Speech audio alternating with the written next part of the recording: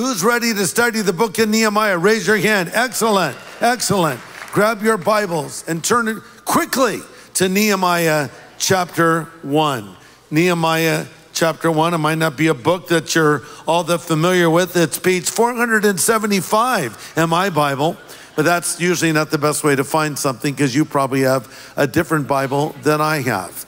But uh, Nehemiah chapter 1, and the title of my message is The Rebuilt Life. I want to remind you that I always encourage you to read ahead. So for next time, read Nehemiah 1 and Nehemiah 2. In fact, just read through the whole book. That'd be the best thing. But at the very least, read the first two chapters. And don't forget when we launch Virtue and Valor and V2, we're also going through the book of Nehemiah. So this is going to be a great time of Bible study for us together.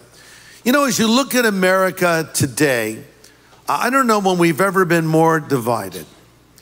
We're really divided along racial lines. Racial tensions seem to be at an all time high.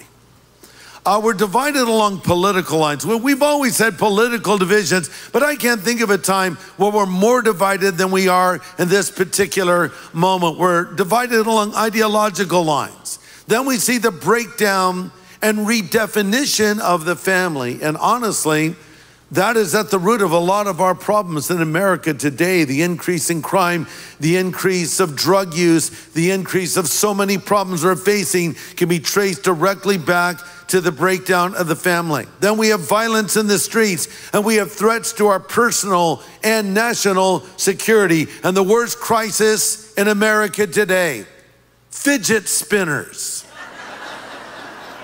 No, I'm kidding. But what is the deal with fidget spinners? How many of you have a fidget spinner? Ma'am, you're an adult. Why? Really? I don't know. These things are some weird obsession, fidget spinners, but that was all a joke, that part there. But, you know, what are we going to do to turn our nation around? Can we turn our nation around? I don't know when we've had more hurricanes either. Been a horrible hurricane season uh, all around the country in Texas and Florida and up Puerto Rico. Puerto Rico's been hit so bad, they, they say it will be months before they even get their power going again. And you just look at the complete devastation of these homes. Uh, there was a home and now it's gone. Sometimes there's a little bit of a foundation left, but devastation. So, how do you rebuild these cities? Well, you do it one house at a time or one brick at a time, if you will. Well, that's really the premise before us in the book of Nehemiah. It's about the rebuilding of a city, the rebuilding of a wall. But we can very easily draw a parallel to our own life. And I ask you today, what state is your spiritual house in? Is it in good shape or is it in a process of decay? Is it in decline? Is it falling apart? Well, we're going to see a lot of parallels here between our lives and the story of Nehemiah. This is a story of one man who took action and made a difference. His name was Nehemiah, and he literally rebuilt a nation. There's so much we can learn together in this book, and we will learn together. We're going to learn how to pray when there seems to be no human solution to our problems. Are you facing a problem like that right now? There's no human solution. We're going to learn what Nehemiah did when he was in the same situation. We're going to learn how to deal with challenges spiritually as well as practically. You know, sometimes we only want to have a spiritual solution, i.e., pray, and we don't do anything. Sometimes we want to do something, but we don't pray. We'll learn how the two go hand in hand. We'll learn how to plan our work and work our plan, and at the same time, trust God. And really, the book of Nehemiah is in many ways a book about leadership. So we're going to learn how to boost morale when it's failing, how to build people up and get them on your team. Maybe you're a, a leader of your workspace. Maybe you're the boss man or the boss woman, or you, maybe you're a foreman on a work site, or maybe you're the teacher in a classroom, or, or you're the person in charge in some way, shape, or form. But even if you're lower down on the ladder, uh, you'll probably be a leader of some kind one day, and it seems like everyone leads someone. So there's lessons on leadership here as well. We'll also learn together how to respond to personal attacks and react when lies are told about you. Have you ever had lies told about you? Have you ever been un- attacked unjustly? Nehemiah faced that. We'll learn how to react. But first, we have to sort of lay a little foundation here with some history of the nation of Israel, where they were at, where they were at at this particular moment in time. Now, of course, Israel was established by God. They were and are God's chosen people. God ruled them through the various judges over time, but Israel wanted a king and he granted their request and gave them a king after their own heart, and his name was King Saul. He was the people's choice, and he wasn't a very good king. He started off well, but he went off the rails and just his life was a disaster. So God picked someone himself. He was David, the shepherd boy, who is described after the man after God's own heart. And under the reign of David, Israel, well, they were in their glory days. Around the circumference of the city, they built protective walls. There was around 10 acres of strategic land uh, surrounded by steep hills and these walls. And for 40 years, Israel thrived, Jerusalem thrived. But David was getting old and he knew his day was coming to an end. So he passed it on to his son Solomon and said, Solomon, my son, Know the God of your father and serve him with an undivided heart. And Solomon started off so well. Known for his great wisdom, people came from around the world to sit at his feet, including the Queen of Sheba, who said of him, The half has not been told. But then Solomon began to compromise and he started getting a bunch of wives, lots and lots of wives, and then some concubines as well. If you don't know what those are, ask Pastor Paul afterwards, he'll explain concubines. And he was compromising, and many of these were pagan women, and it resulted in, in trouble coming right there into the throne. But soon Solomon died, and then Israel split right in two. And the northern tribes are ruled by Jeroboam, and the southern tribes are ruled by Rehoboam. And both tribes turned to idols and false gods. The northern tribe fell first, and they were taken into captivity by the Assyrians. The people of the northern kingdom were absorbed into the various cultures of the world, but the southern kingdom fell later and they were deported by the Babylonians. Uh, so, because they had this penchant for idolatry, God says, You want idols? Hey, I'll give you more idols than you can shake a stick at. Welcome to Idol Central, Babylon. And that's where they lived as captives for 70 long years. And that's when the book of Daniel was written. Nebuchadnezzar was the king of Babylon. Remember, one of his advisors was Daniel. And God humbled the great Nebuchadnezzar and he turned to God, but he didn't successfully pass his legacy on uh, because his grandson Belshazzar went out of his way to mock the God that his grandfather believed in. You remember the story of Belshazzar drinking out of the vessels that were set aside for the worship of God and, and mocking the Lord. And then he saw a hand writing on the wall. And God said, You've been weighed in the balances and you've been found lacking because right outside of his kingdom was Cyrus and the Medo Persian forces who are ready to come in and conquer Babylon. So now Cyrus is the king. And he gives a decree that the Jews can go back to Zerubbabel. So in approximately 536 BC, the first wave of Jews returned to Judah under Jerusalem. Now I know what some of you are thinking. You already picked up your fidget spinner or you're looking at your phone. You've checked out mentally. Greg, this is so boring. I don't need a history lesson. Actually, you do. Because listen to this history is his story. So we need to learn from history. Uh, and so this is setting the stage for what we're about to read. We need to have context as we look at the book of Nehemiah together. So here are the Jews now returning to Jerusalem.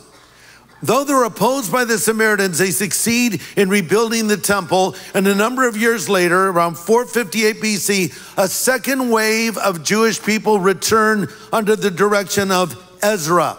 Ezra was a priest, he was a spiritual leader. And upon arriving, the children of Israel were in a state of spiritual decline. The problem was there was intermarriage with the pagan tribes. Intermarriage. By the way, God is not against interracial marriage, He's against interfaith marriage, okay? So it's not an issue. And anyone who makes an issue of interracial marriage doesn't know what they're talking about. The big thing for God is that we find people that share the same faith that we share.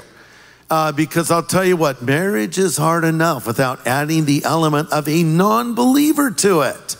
This is why the Bible says, don't be unequally yoked together with non believers. For what fellowship does light have with darkness? And you might say, well, I'm going to marry a non Christian guy and I'm going to lead him to Christ. Yeah, I'll concede that does occasionally happen, but occasionally. Far more often, what happens is instead of the believer pulling the non believer up, the non believer pulls the believer down. And that's why the Bible warns against it. And that's what happened to Israel. They're intermarrying with all these pagan tribes. And so they're totally compromised. And it's just a big mess. So Ezra calls these people out to repent, and they did. And then the Jewish temple was rebuilt, but the walls of the city were in shambles.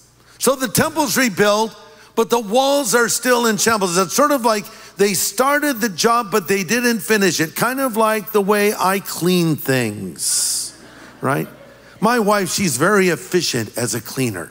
You know, she, she'll make food for me to eat, and she's cleaning the dish before I finished eating. You know, I have to climb partially into the dishwasher to finish it and get sprayed in my face, things like that. Uh, she's always cleaning, cleaning, efficient, cleaning. I let messes store up. The other day I was looking in my office. It just looks like a bomb went off in there. You know, books stacked on books and papers and all these things. And so I said, I'm going to get it right today. And so I got it all sorted out, but I just left it like two or three little piles. I said, I'll get to those later. You know what happened, right? Now those piles are big piles and it looks as bad as it looked before and I have to start all over again. That's what Israel looked like. That's what Jerusalem looked like. They got some things done, but they didn't get all the things done. So enter Nehemiah. He's the man that God is going to use. He's not a priest like Ezra, he's what you would call a layman. I don't like the term layman myself. It's sort of a, a term that's used to describe someone who's not, quote, in ministry, end quote. You know, I think sometimes we might think, well, pastors or missionaries or people that work for churches, they're in ministry, but, but actually, you know, I flip burgers or I work in the corporate world or, or I'm in construction or I'm in education, so I'm not in ministry. Au contraire, which is French for snails with garlic. No, that's uh, escargot. No, every Christian is in ministry in a sense because ministry is simply service.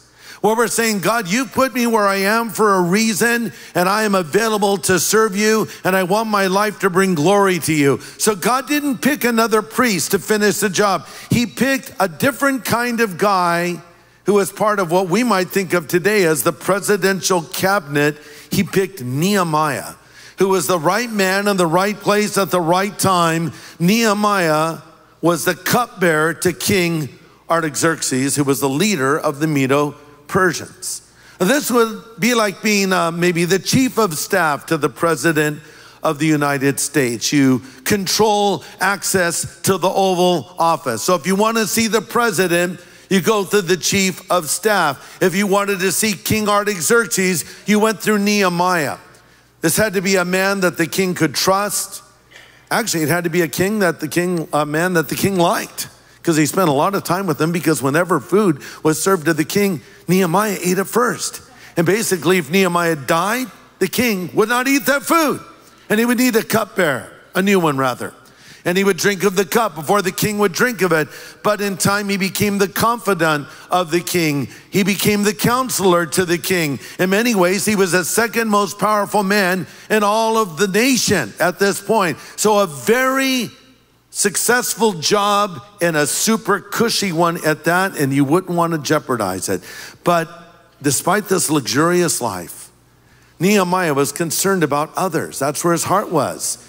In a perfect world, he didn't want to be in the palace, he wanted to be in the temple. In other words, he had the finest this world has to offer, but he wanted to be with God and with God's people, and he cared about them. Is that how you feel during the week? You know, maybe at work or school or whatever, you're saying, I can't wait till Sunday. We're going to worship the Lord. We're going to get into the Word of God. You look forward to it. Like the psalmist who said, I was glad when they said unto me, Let us go to the house of the Lord. Is that how you felt when you came to church today? Are you glad to be in the house of the Lord right now? If so, yeah, that's good. Listen to this. When you're living a godly life, you will want to be with godly people. Very simple. When you're living a godly life, you'll want to be with godly people.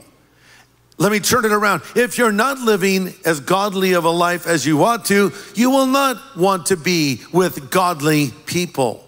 So basically, Nehemiah is saying, Yeah, this is nice living here in the palace next to the king, but I care about God's people. You know, sometimes people will say things like, Well, I love Jesus, I just can't stand the church. That's like the stupidest thing ever, by the way. Because if you love Jesus, you will love his people. And don't say you love Jesus if you don't love his people. First John 4:20 says, if a person says, I love God, but hates his brother, he's a liar. If a person does not love his brother whom he has seen, how can he love God whom he has not seen?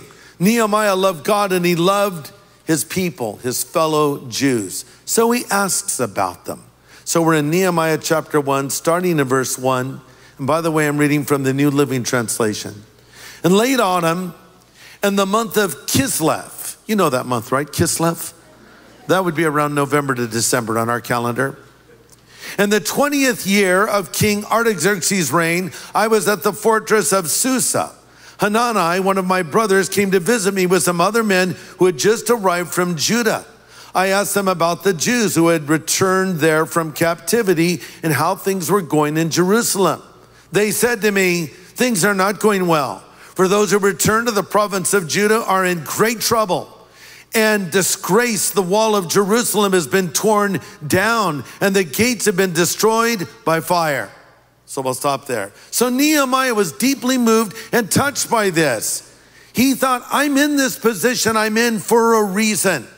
He decides he's going to bet the farm and go for broke and leverage his position of influence and go to King Artaxerxes and try to fund a building program to rebuild the broken walls of Jerusalem. He realized he was where he was because God wanted him there. Have you ever stopped and thought about the fact that you're exactly where you're so supposed to be right now?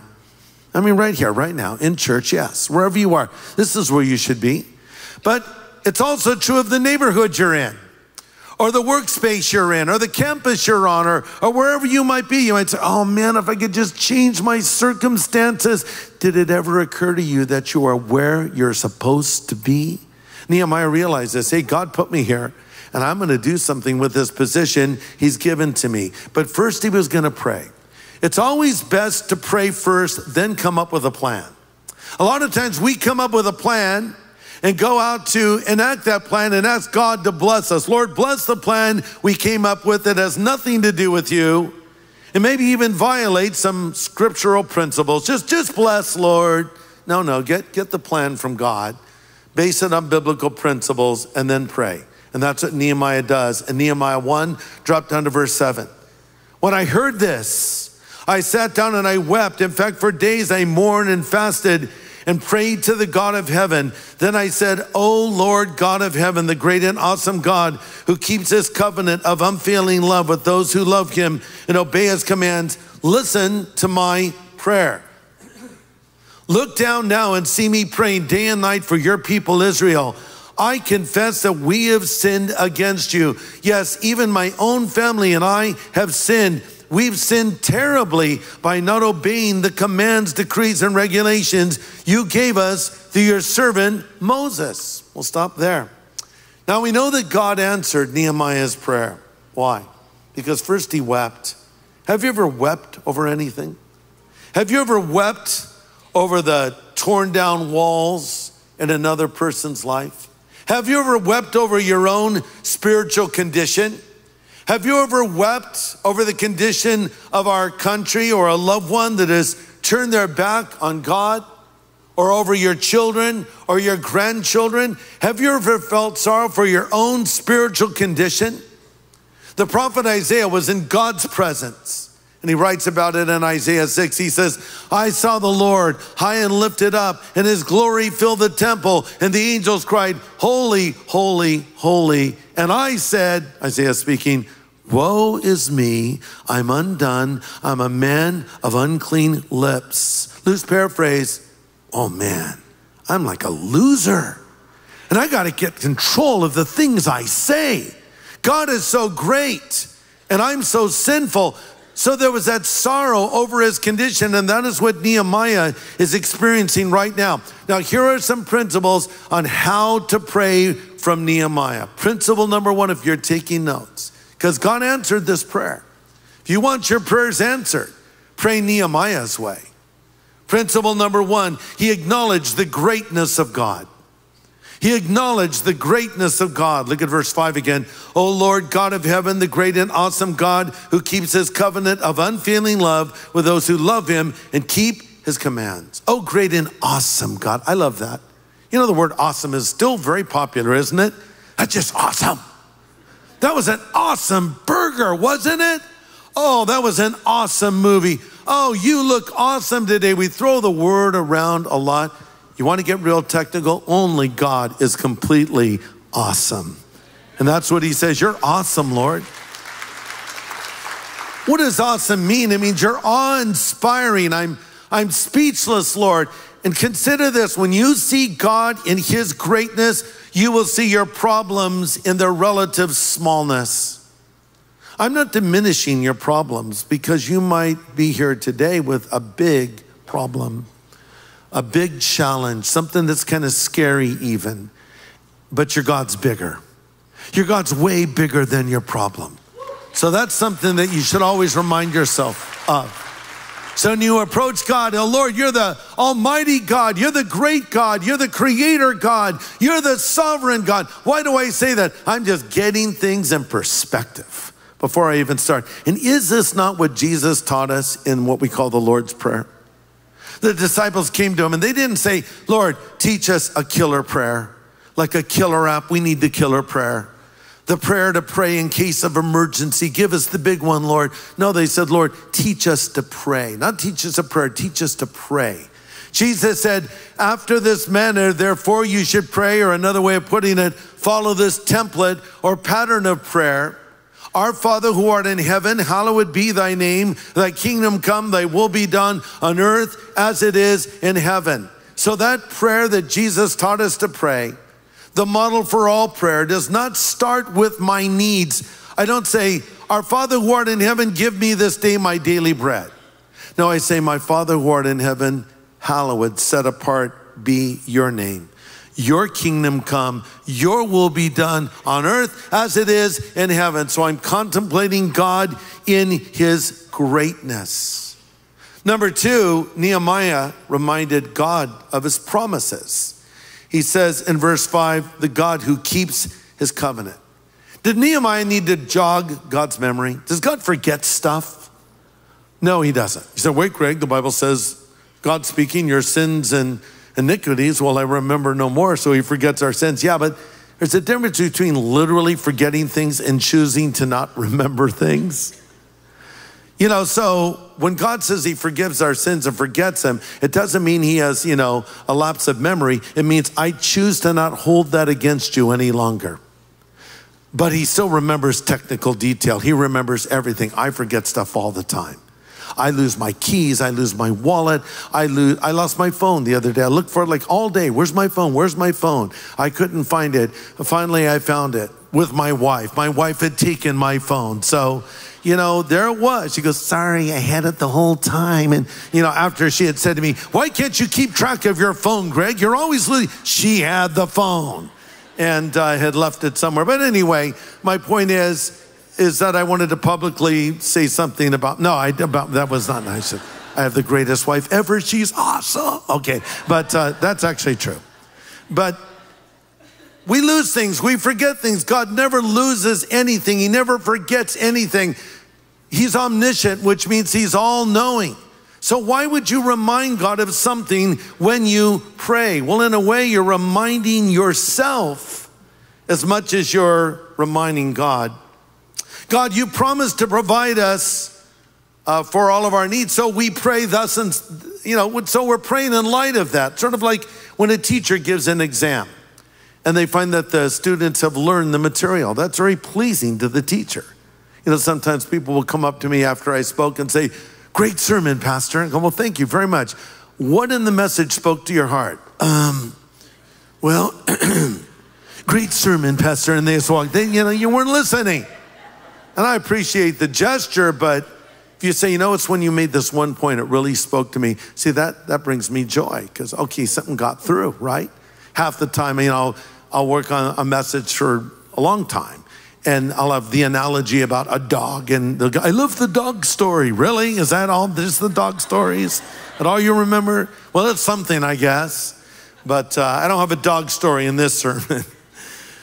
But the point is, is that when someone hears what you say, that's wonderful. And so when we say, Lord, I've been reading your promises and I remember your promises, and I'm reminding you of your promises, that's a good thing. See, that reminds us that we don't just read through the Bible, we pray through the Bible because the Bible is filled with promises. Someone estimated there are 3,000 promises to believers found on the pages of Scripture. 3,000. I don't know if that number is accurate. If you want to go check this week and get a new number to me, I might use your number for a while. But then I read the other day that there are $5.8 billion in gift cards that go unclaimed every year. And you know about that. Do you have gift cards you've not claimed? How many of you have unclaimed gift cards? I have a few laying around, you know, because they, they're to places I would never go to. Like here's, here's a gift card to a new restaurant called We Suck. I don't know. I'm just, you know, I probably won't use that gift card. Thank you. But if I give it to you, you know where it came from, right? How many of you ever regifted a gift card? Be honest, just, yeah, okay, it's all right, I've done it too, you know. Think of all those gift cards unclaimed, all that money not utilized. So here's the Bible filled with gift cards, if you will. Gift cards. It's already paid for. You just need to cash them in. And there's so many promises God has given. You say, well, what are they? Well, let me just give you four quick ones. Number one, God says you'll never be alone in life. You'll never be alone in life. Isaiah 41:10, the Lord says, Don't be afraid, I'm with you. Don't be dismayed. I'm the Lord your God. I will strengthen you and help you. I'll uphold you with my righteous right hand. Jesus said, I will never leave you or forsake you. Number two, God will get you through whatever you're facing. It's a funny thing, when I was writing this point out or typing it out on my keyboard, I got a text from my friend Braden. He's 12 years old.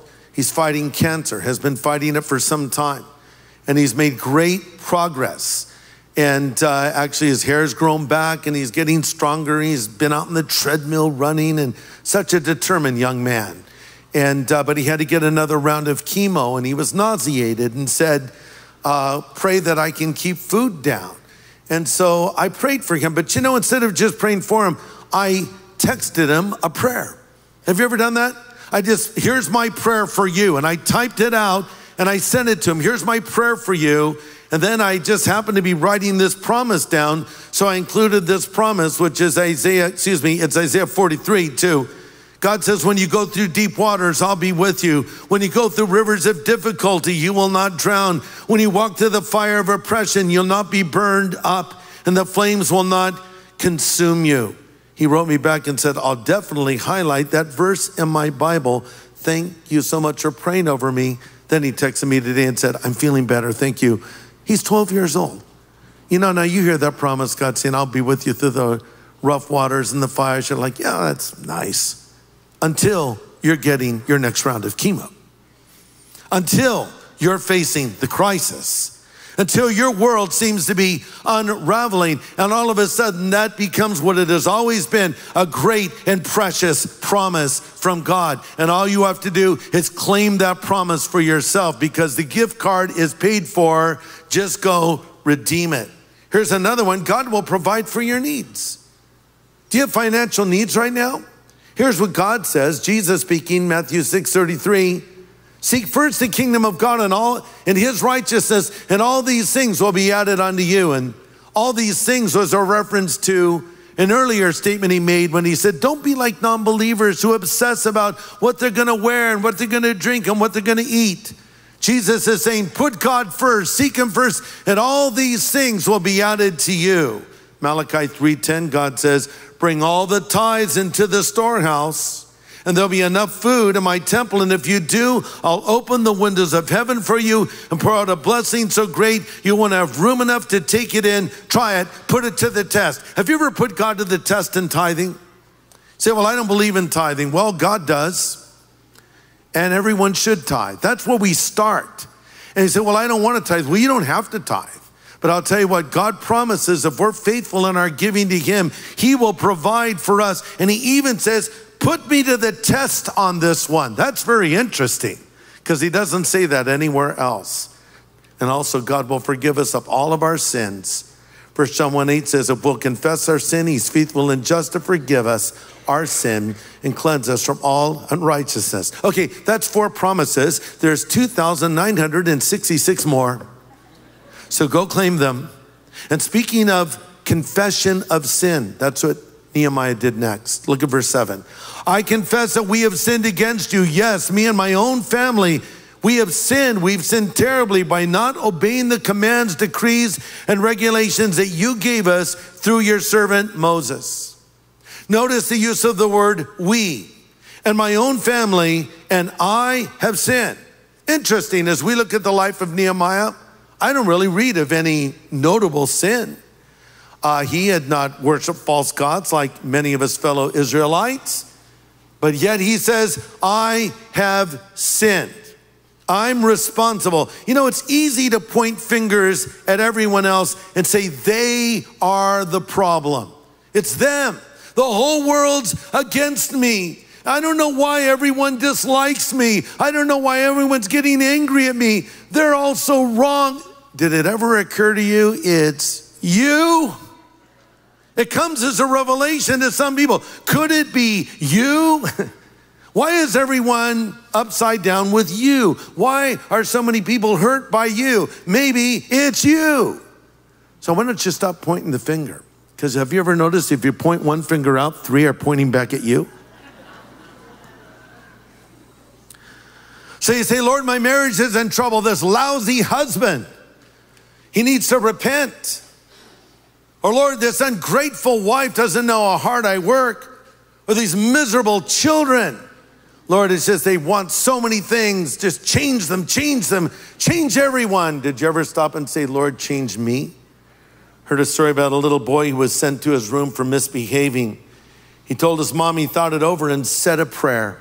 She said, Very good. You should pray that God will help you not to misbehave. He said, Oh, I didn't ask God to help me not to misbehave. I asked him to help you put up with me.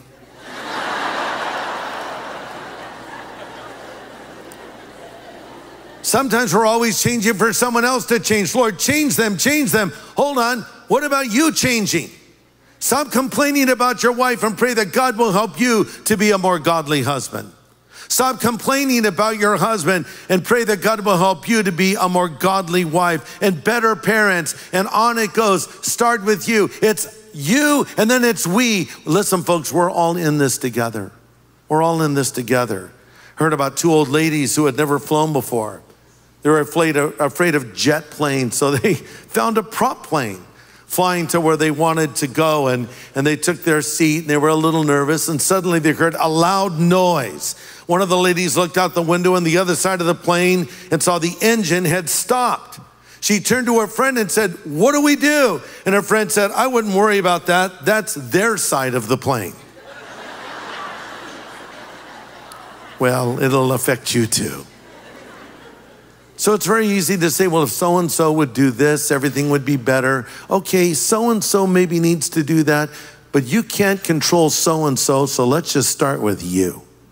We say the nation needs a spiritual awakening. True. We say the church needs a revival. Again, true. But listen, revival starts with you. Revival is personal. You say, what do you mean by revival? I mean restoring to original condition. So I am that man or that woman that God wants me to be. Yes, it's good to pray for someone else to change, but pray that God would change you. Prayer does changes things, but it's also true that prayer changes you. And sometimes prayer changes you and you change things. So sometimes you'll pray in the Lord and say, actually, I want you to do this job. And Nehemiah prayed and God said, good job, buddy, because you are going to be the one I'm going to bring the change through. You're going to be the man who will make a difference. And so he called out to the Lord, and we need to do the same. I wonder what state your life is in right now. You know, we talk about these walls of Israel. Walls mattered back in those days. They were defensive, of course, they kept enemies out. But uh, the walls, and especially the gate of the city, was where commerce was done. It was also where the elders would meet and they would make important decisions. They were, they were a place of authority, so they meant a lot. And in our life, we have walls sort of built around us, and sometimes those walls start breaking down. You know, we compromise a little here, we compromise a little there, and then the weeds start growing in and the problems start developing. Maybe we need to go about rebuilding our own walls personally. Maybe it needs to start with a prayer where we just see ourselves as we really are. Listen, if you're not a Christian, let me tell you your true state before God. You're a sinner in need of a Savior. Because there's nothing you can do to earn your way into heaven. But the good news is, is God loved you so much, He sent His Son, Jesus Christ, 2,000 years ago on a rescue mission to die on the cross for your sin and to pay the price for all the wrongs you've done, then to rise again three days later. You need Jesus. and even after you've known the Lord for months and years and then decades, you still need Jesus. You need Jesus every day and every night and every month and every year, from your first year to your last. And sometimes we start well and we just get off track. And we need to recommit ourselves to Christ and we need to rebuild broken down walls and that might be some of you now. So we're going to close on prayer, and I'm going to extend an invitation for some of you to believe in Jesus for the first time, and also an invitation for some of you to recommit your life to Him because, well, the walls in your marriage, the walls in your life, the walls in your testimony, they're, they're broken down, and in some cases, they're in rubble. But God, can help you to rebuild those walls again. But it starts with seeing God in His greatness, confessing my sin, and calling out to Him. Let's pray. Father, thank you for your word to us today. And I pray for anyone here, anyone watching, wherever they might be, who does not know you yet. Lord, help them to see that what they really long for in life is you. They long for Jesus. I pray that your Holy Spirit will convict and convince them of their need for you and help them to come to you and believe this very day. While our heads are bowed and our eyes are closed and we're praying, maybe you would like to ask God to forgive you of your sin. Maybe you would like to ask Jesus Christ to come and live in your heart so you don't have to ever be alone in life again. Maybe you would like to know with certainty that you will go to heaven when you die and you want Jesus right now, if you want Jesus Christ to forgive you of your sin, if you want to know you'll go to heaven when you die, if you want Him to forgive you of all the wrongs you've done, would you lift your hand up and let me just pray for you right now, wherever you are? God bless you. God bless you. Anybody else, just raise your hand up and I'll pray for you. God bless you. I see hands going up everywhere here, and I know folks that are watching screens that your hands are going up to. Just raise your hand. Of course, I can't see you, but the Lord sees you. Just say, Yes, I need Jesus Christ right now. Raise your hand up wherever you are. You want Jesus today. Let me pray for you. All of you that have raised your hand now, I want you to stand to your feet, and I'm going to lead you in a prayer. Stand up, all of you that raise your hand. Even if you did not raise your hand, but you want Christ to come into your life, you want Him to forgive you of your sins, stand to your feet, and we'll pray. Get this resolved. You'll have that fresh start in life you've been longing for. Anybody else, stand up. God bless you that are standing. I'll wait another moment. Anybody else, just stand up. God bless you. Wherever you are, wherever you're hearing or watching me, stand to your feet and we're going to pray and you're going to make that commitment to Jesus. You will not regret doing this. Just stand up wherever you are. God bless all of you. Okay, you guys that are standing, I want you to pray this prayer out loud after me. Again, as I pray, all of you standing, pray this prayer out loud, right where you are. Pray this after me. Lord Jesus, I know that I'm a sinner, but I know that you are the Savior who died on the cross for my sin. I'm sorry for my sin. I admit my sin. I turn from my sin. Forgive me of my sin. I choose to follow you, Lord, from this moment forward. In Jesus' name I pray. Amen. God bless each one of you that prayed that prayer. God bless all of you. Wonderful.